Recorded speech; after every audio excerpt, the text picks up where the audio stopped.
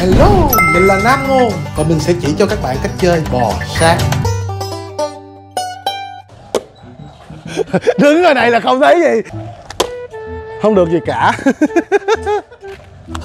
Lúc tụ lúc tản lúc tụ lúc tản mà nó quay như lúc thấy đó lại tụ lại nè. Ờ, Thành giống như một cái đàn cá con cá châm đồ này nọ đó.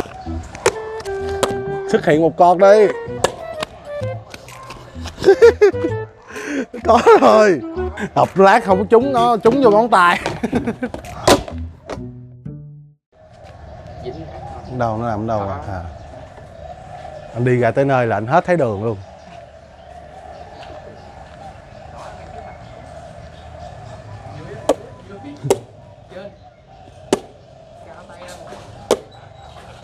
Đứng ở đây là không thấy gì. Hồi đứng xa giờ mới thấy em ơi lại gần là không có thấy được gì hết trơn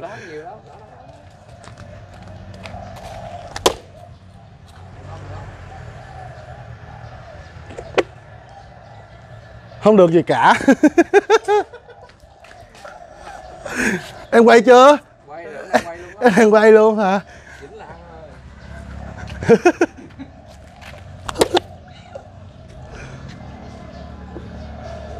Không dính luôn.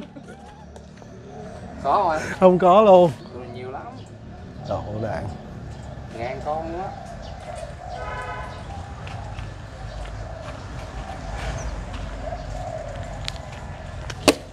Chật rồi, chật rồi sâu hơn vô xíu nữa.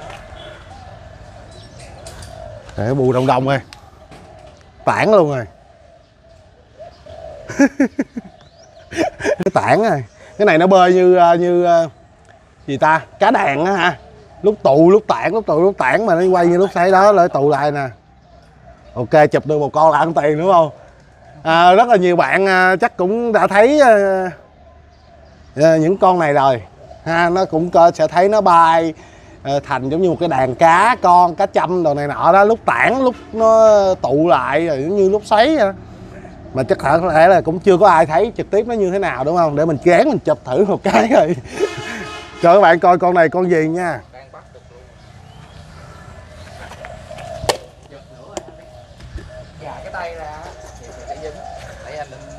Dài hả? Thẳng hả? Bên này cũng có bên này có nhiều. À.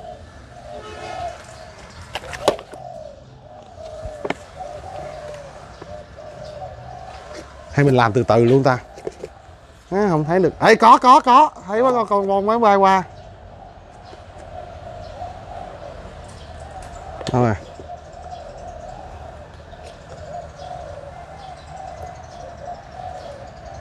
không thấy con nào. Không có ừ. Mới đây nè quá trời kìa lúa tụ lúa đồ kìa nó nằm ngay từ cây này đỡ lên. Nó vẫn còn đúng không? dài tay ra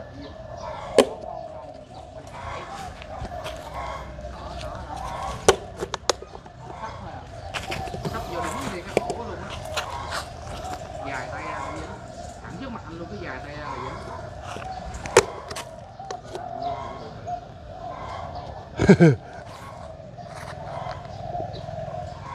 nó nhỏ xíu á trồng suốt luôn á.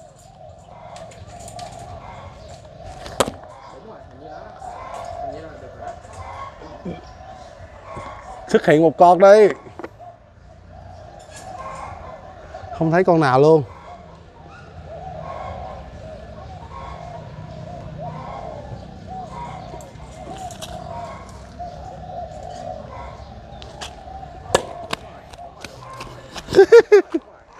có rồi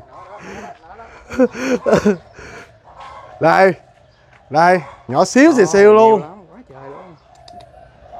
Trong tối thấy không cần ra nắng không? Đó.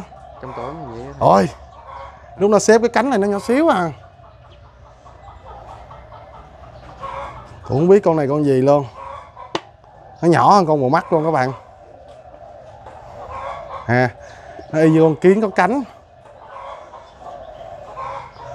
Cuối cùng cũng chụp được. Rất là nhiều luôn. Giờ mình mở ra ha. Có cái gì chữ không để coi Chữ hả?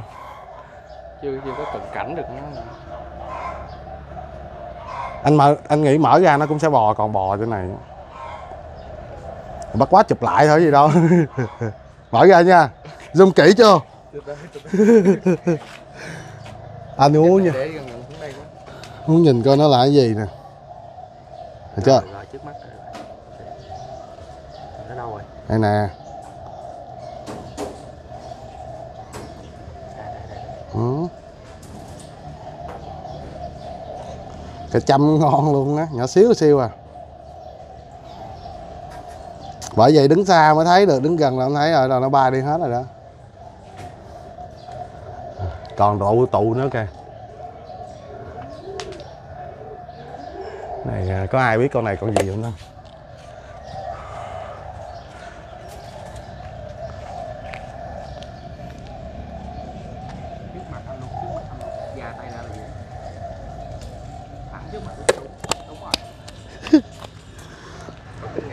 có kinh nghiệm.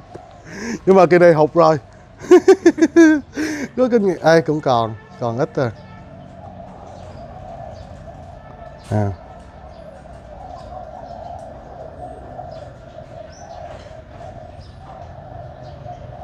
Đây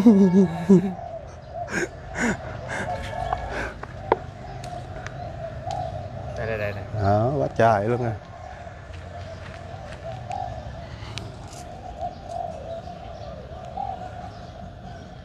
Trời nhìn lát qua mắt luôn rồi thẳng trước mặt anh luôn cứ thẳng anh già tay là gì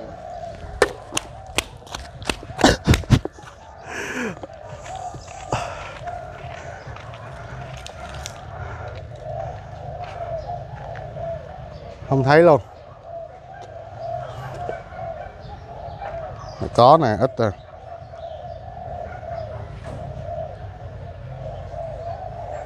Bay luôn rồi.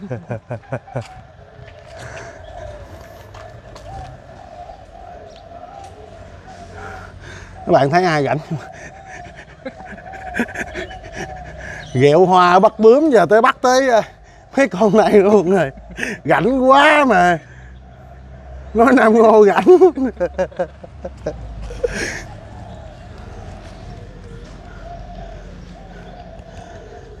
Có ai voi cho lá đi bắt bướm luôn? Kiếm cái vợt bắt bướm luôn như Nobita luôn.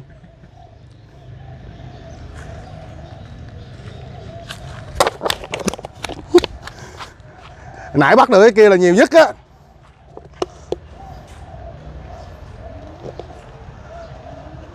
Bài à?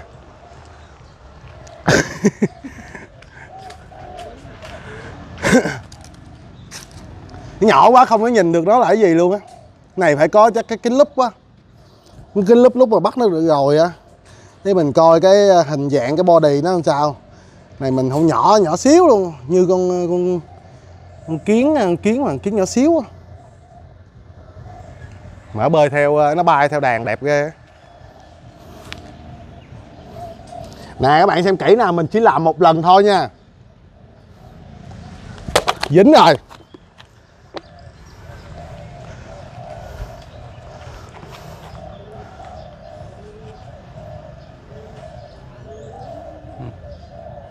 Ừ. ít à nãy mới nhiều á.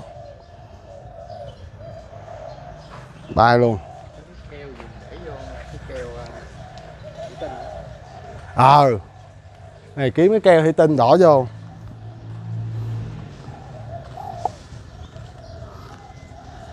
Hãy để anh đi. Đi vô kiếm cái keo này. Lỡ xàm mà mình xàm tới luôn. Ok, để đi vô kiếm cái keo quay ra đây, chụp nó bỏ vô mới được. Ok, hãy bắt xong bỏ vô đây. Ra kiếm cái nắp này. Lấy cái thùng bự hơn.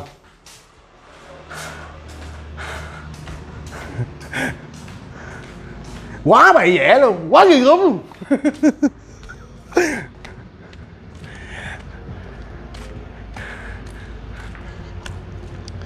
Để à, hôm nào rảnh làm clip à, giới thiệu về à, một cái à, gì đó một cái niềm đam mê một cái thú vui khác của Nam Ngô ha.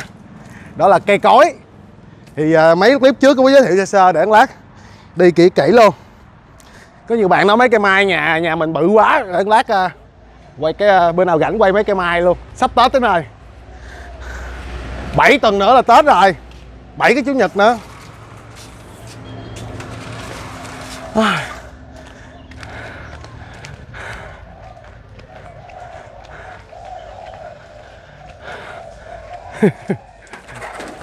Để coi coi vòng vòng này có con gì để uh, à, review hết luôn. tập lát không có trúng nó, trúng vô ngón tay. Vẫn còn. Đó, nhìn từ xa nè.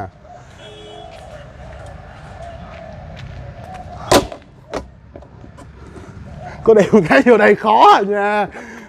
Vô cái thùng bự rồi làm sao mà thấy được? Nhìn đây thấy không? Độ ngầu à. Vô cái bự này sợ khó thấy hơn các em ơi nhỏ nhỏ vậy chứ dễ thấy. Bài quá trời luôn rồi mà không sao bây giờ bắt lại. Đâu rồi, hai cái cục hồi nãy đâu rồi. Cái này dễ thấy hơn á, cái này dễ trút vô cái kia hơn.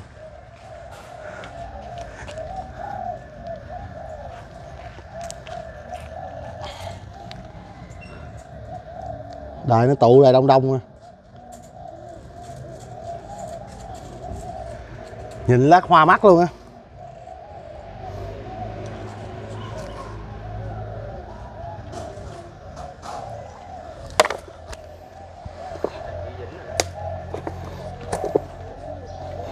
Nãy tiếc quá nãy chụp được nhiều quá mà không chịu bỏ vô keo. Đang bỏ có không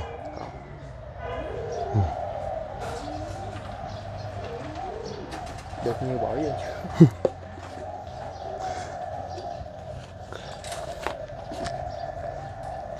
quá ghê gớm luôn. Dạ, dạ.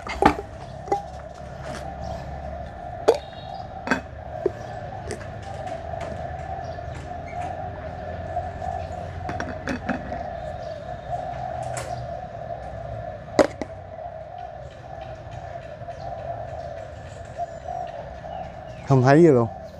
Quá nhỏ. Quá nhỏ để thấy.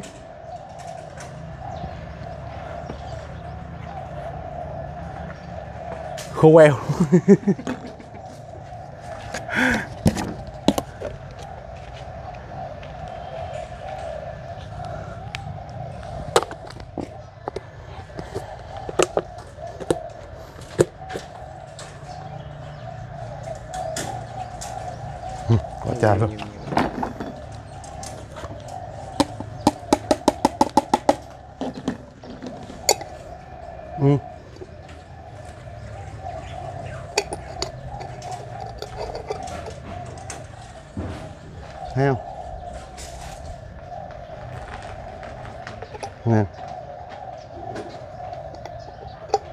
nó nhỏ mà, còn nhanh nữa chứ.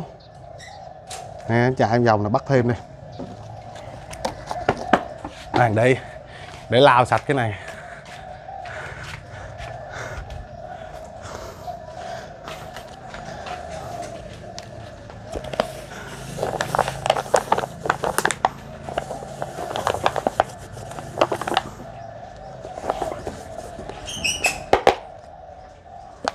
Nhiều bạn nói hồi xưa anh nào mà chiên igu. Thấy ngầu ngầu. Lúc này đủ môn phối hợp hết. Nhưng mà mình nói bạn nghe nè. Thật ra phải đa năng nó mới tốt. Chỉ một cái hai cái bây giờ nó, nó không đủ. Chúng ta cần phải đa năng khả năng thích nghi mình phải tốt. Đụng chỗ nào khó thì mình phải có hướng giải quyết phải không? Mình phải ờ, gọi là thay đổi điều chỉnh để cho nó phù hợp với điều kiện hiện tại. Chứ không lẽ giờ mình gặp khó cái mình bỏ cuộc. Đâu được. Sao bỏ cuộc được? Thì chế cháo quả này quá kia chứ. Cho nó vui. Rồi mất tiêu luôn. À, à.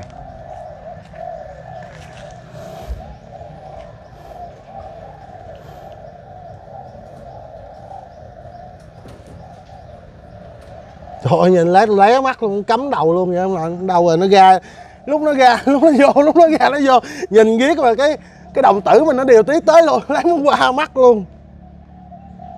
Sao đàn này ít vậy?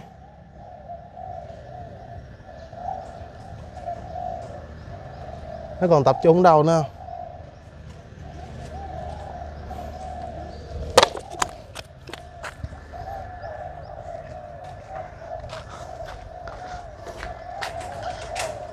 Có có có có có cũng nhiều quá ừ.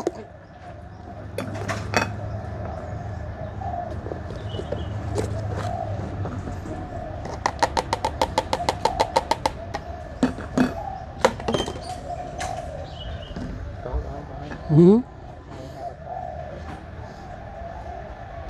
một hai ba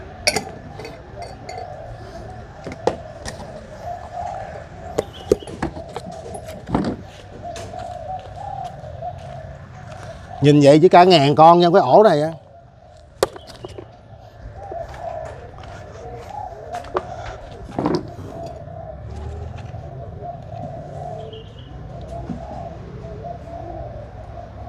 rồi không có con nào luôn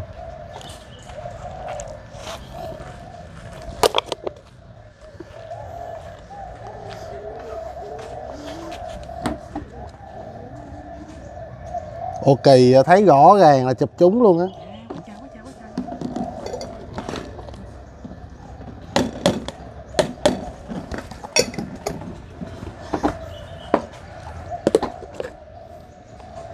Không được con nào hết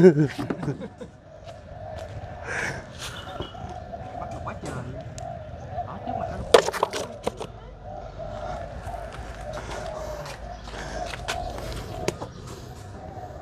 có có kìa rồi quá trời luôn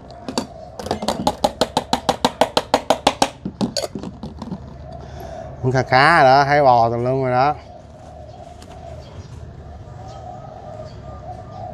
ừ.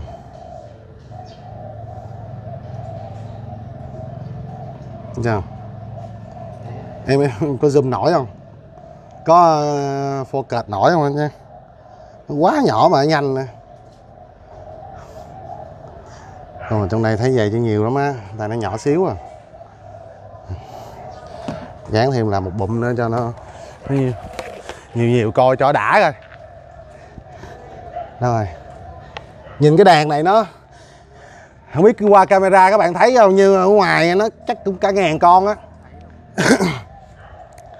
Nó bơi y như những những cái đàn đàn cá lớn ở dưới đại dương nha. Lúc nó tụ lúc nó tỏa ra lúc nó tụ lúc nó tỏa ra cũng đẹp lắm.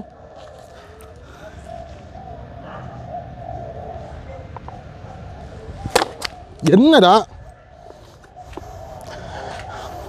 Chụp riết không có nghề á. Có. Có đó.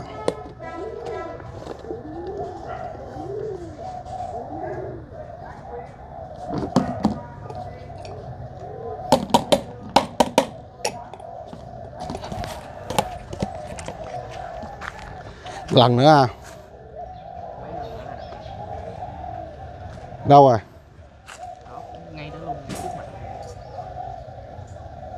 Để tụ đàn đông đông á.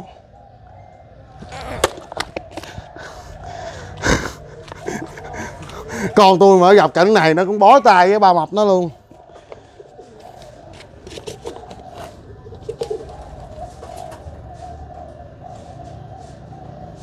Hụt ăn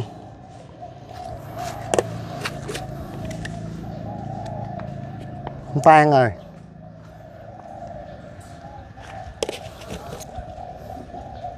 Tan luôn rồi. Đây cũng còn.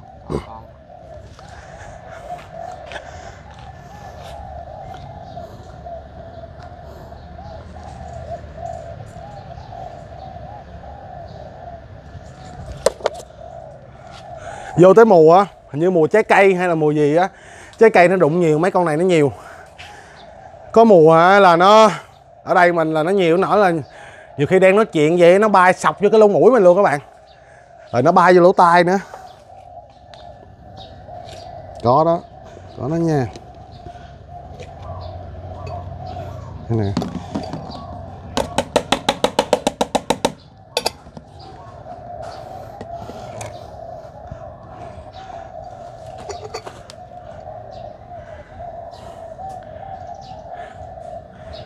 Đây là thành quả ờ, vừa qua của người đàn ông rảnh 40 tuổi. Rảnh nhất thế giới. Làm mấy chuyện gùa bu kiến đậu. Nè bò tí tách luôn. Nhỏ tí ti ha các bạn ha? À, nếu mà bạn nào mà thấy có con kiến đen ở trong nhà mình á thì con này nó bằng 1 phần 10 con kiến đen đó. Kiến đen nó đã nhỏ rồi con này nó bằng 1 phần 10 chút xíu chút xíu à. nó có một cái đuôi. Ừ, có cái đuôi dài dài á hơi dài hơn á. Con này nó giống như ờ, những cái con ờ, nhưng mà cái này cũng không phải bù mắt con bù mắt nó lớn hơn. Ví dụ như trái cây mà nó bị chín rồi nó nó chín mà nó nó già quá đầu nó lên cái mùi á nó lên lên cái men á thì sẽ xuất hiện những con này rất là nhiều. Chín thúi á bù mắt. Nhưng mà con này không biết là con gì nó nhỏ hơn con bù mắt nữa cũng không rành luôn nhỏ xíu xíu. Gặp nước ngoài là cái này nó lên Amazon nó bán luôn rồi đó. Cái gì nó bán không được hết trơn. À, đông gói đẹp luôn các bạn. Ai mua? Ai mua? À, đó thấy chưa?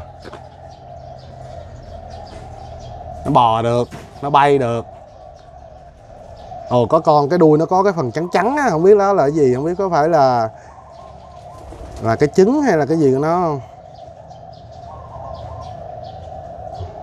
Cũng khá là nhiều luôn á. À.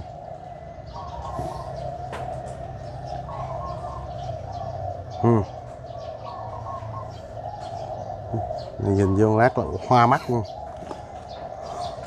Bà con coi clip nó nhức đầu luôn á. Nè nó có con có con thì không có trắng còn à, có con thì cái đuôi nó trắng trắng. Không biết đó, đó là là giữa đực với cái cái khác nhau hay sao? Ồ tính ra mình chụp cũng nhiều quá chứ. Đây nè.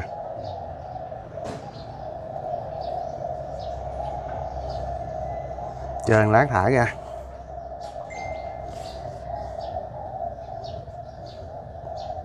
Côn trùng nay chuyển qua chơi côn trùng luôn. Ồ nhiều quá em. Anh xây cái mặt nào anh cũng thấy bò đống á. Đúng rồi. Cái đèn cham đèn cham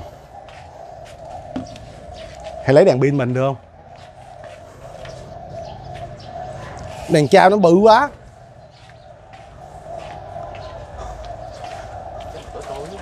Nào tối ha. Hay đi vô cái khu vực à, mốt à, làm đồ tối.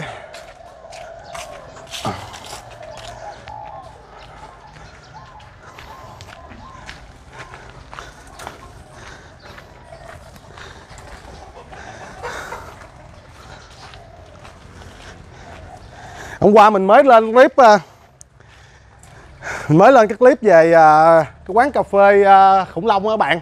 Saros Coffee and Gallery á rất là hay. Nhà nào có mấy bạn nhỏ chắc mấy bạn nam sẽ thích hơn mấy bạn nữ. Nhưng mà nếu mà nói chung mấy bạn nhỏ nào thích khủng long lên đó chơi là sẽ rất là thích những cái mô hình khủng long rất là đẹp ha. Mình nói Teppy để bữa nào bà dẫn Teppy đi coi quán cà phê khủng long rồi nè. Không Teppy muốn đi à, coi rồi công viên khủng long mà quá thạch á khủng long mà tuyệt chủng rồi mới chịu. Phải đi máy bay qua nước ngoài kìa.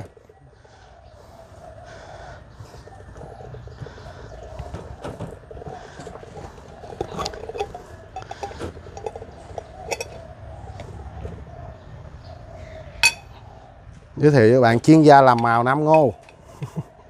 Vua làm màu. Thấy được gì không? Anh thấy đèn vô, khó thấy hơn hả?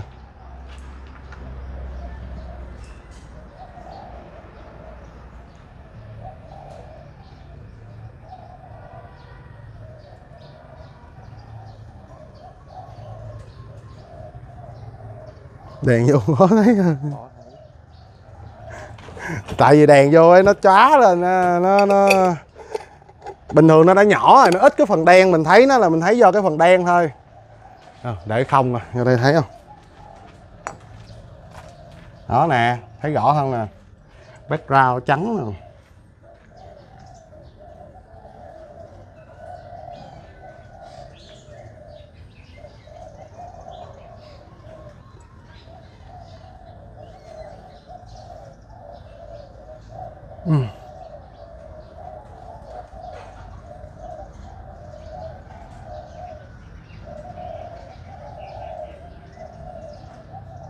đen từ lùi luôn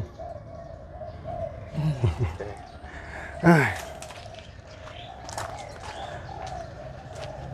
nhiều khi phát hiện ra lời mới thì sao ta? Nói giỡn thôi. Nhưng mà trái đất này nó luôn vận hành ha các bạn ha. À, có những loài mới nó sẽ bị tuyệt chủng. Và ấy quên có những loài nó sẽ bị tuyệt chủng và có những cái loài mới nó sẽ được tìm ra được sinh ra.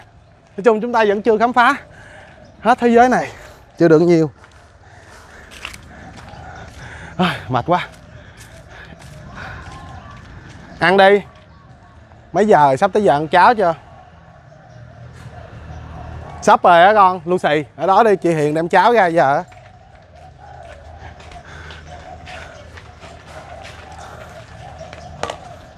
Thôi, bây giờ mình thả mấy em lại đi. Thả cho mấy em đây coi cái đàn nó còn không? Cái đàn vẫn còn luôn nha các bạn. Vẫn còn luôn. Nhỏ quá. Giờ thả ra cho nó bay.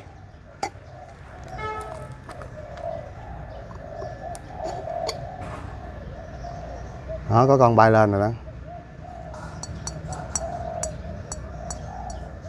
Đó máy bay lên đó, thấy không?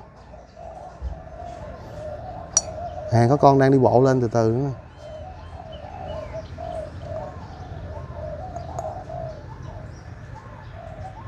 Hết rồi.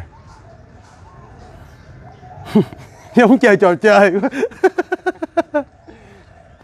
Công nhận nước ngoài nhiều cái độc Mình không nghĩ ra. Bán mà bán à, bán không khí sạch Bỏ vô cái chai hay cái bịch gì đó Hết. Đời nãy gì cũng có bán công nhận. Mà ông nghĩ ra mấy trò vớ vẩn này, y như mình luôn. Nè còn đàn bay nhóc nhách Nè có bướm nữa đi bắt bướm luôn.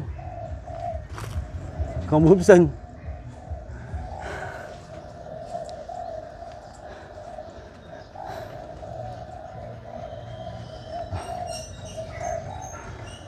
hai mươi à, ấy cái gì?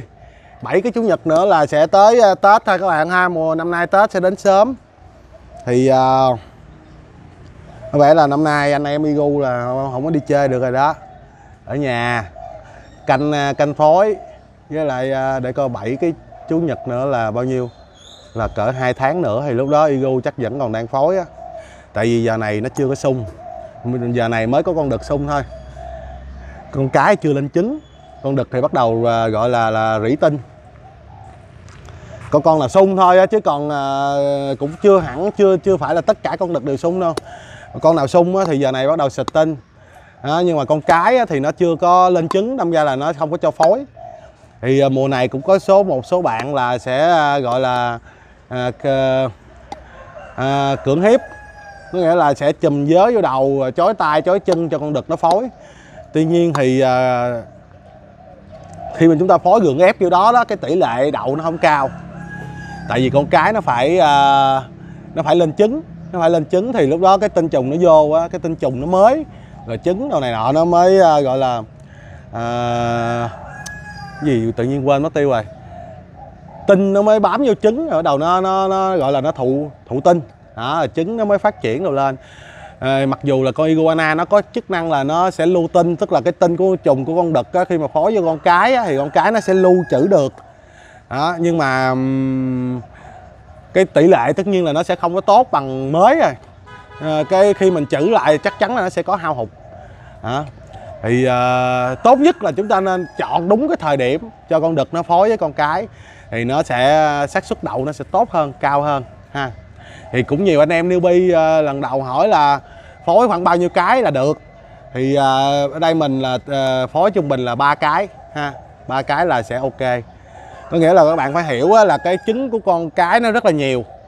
Và à, một lần phối thì cái lượng tinh trùng nó vô nó không có phủ hết cái trứng. Cho nên là mình phối khoảng 3 lần là nó sẽ đạt.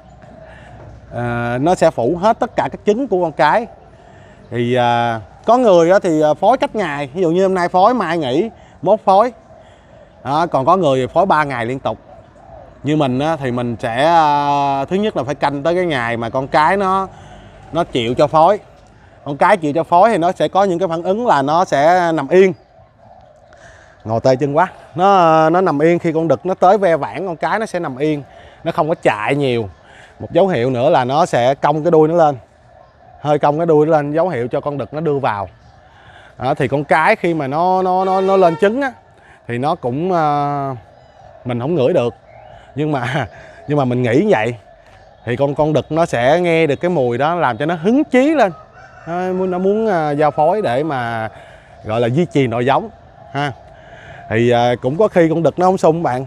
Không biết đúng không? Con đực nó không sung. Đợt nó mình thả đực cái vô mà con đực nó nó nó nó, nó nhìn con cái này nó không sung mình mới ẩm người con cái mình ịnh vô mặt không được cho nó ngửi cái mùi nó ngửi mùi từ cái cái bộ phận sinh dục của con cái á. Nhiều khi con cái nó có tiết ra cái chất gì đó nó đực nó sung nó phối. Thì mình à, mình mình mình nghĩ là vậy ha. Đó thì à, à, có nhiều bạn hỏi là phối cách ngày hay là phối 3 ngày liên tục thì tùy mỗi người. Ví dụ như mình ở đây á, là mình phối à, 3 ngày liên tục cũng có hoặc là cách ngày cũng có. Ví dụ một con đực phối với hai con cái thì hôm nay phối con đực với con A cái A ngày mai phối đực cái B mốt phối lại cái đực cái A. Cứ kiểu dạng vậy á. Đảo tới đã lui thì con đực vô mùa nó sung lắm. Hầu như là ngày nào nó cũng sẽ chịu phối.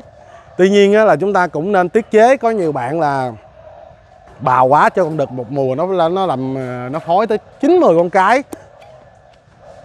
Thì tất nhiên là có những con nó nó nó rất là khỏe. Nó nó phối thì nó nó trong quá trình nó phối rất là sung nha mà điều đặc biệt các bạn để ý là con con iguana trong cái mùa phối nó lại ăn rất là ít. Giống như mình đã có giải thích nhiều lần con iguana nó cái cơ chế của nó là tích trữ rồi tiêu xài tích trữ rồi tiêu xài. Chứ nó uh, nó, nó nó nó có nghĩa là sau khi mà nó phơi nắng nó tích trữ năng lượng rồi đó đầu nó sẽ sung nó bung nó gồng nó đồ đẹp. Thì trong quá trình đó nó cũng không có cần nạp lại nữa. Đó, nó xài cho cạn đầu nó lại tích trữ lại. Thì đó là cái kiểu của con iguana. À, cho nên là cái mùi giao phối mặc dù là mình cảm giác là nó rất là sung nó bắn tinh trùng rất là nhiều nó giao phối rất là nhiều rồi nó ờ, gồng đồ rất là nhiều. Thì mình nghĩ là nó sẽ tiêu hao năng lượng thì nó cần phải ăn nhiều cho nên là các bạn chuẩn bị đồ ăn rất là ngon nhiều nhưng mà nó lại ăn rất là ít.